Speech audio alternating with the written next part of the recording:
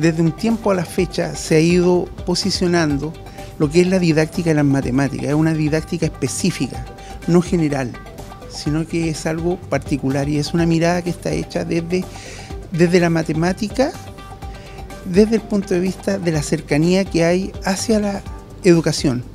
La didáctica de las matemáticas estudia los procesos de transmisión y recepción de, de la disciplina, en este caso las matemáticas. Y tal como lo explicaba la profesora, está asociado a muchos contextos y que están involucrados estudiantes, profesores y los saberes.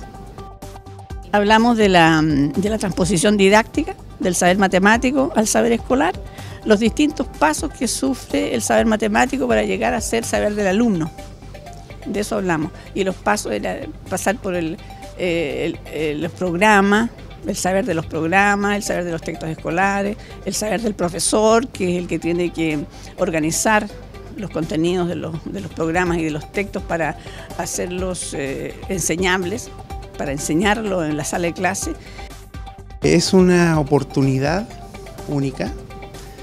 Hemos considerado el hecho de que en el plan de desarrollo operativo de la escuela, en el plan de mejora de los procesos de acreditación y en el, en el contexto de la renovación curricular de la escuela, se haga esta primera jornada de didáctica en las matemáticas y está enfocada más que nada en los profesores del área disciplinar de la escuela. Lo más importante es la actualización de conocimiento. La actualización de conocimiento para pensar en, en estrategias nuevas, en ideas nuevas. Lo más importante es la reflexión es la reflexión sobre los distintos temas. Porque no es, no es fácil hacer clases, porque hay una organización de unos conocimientos en vista del aprendizaje.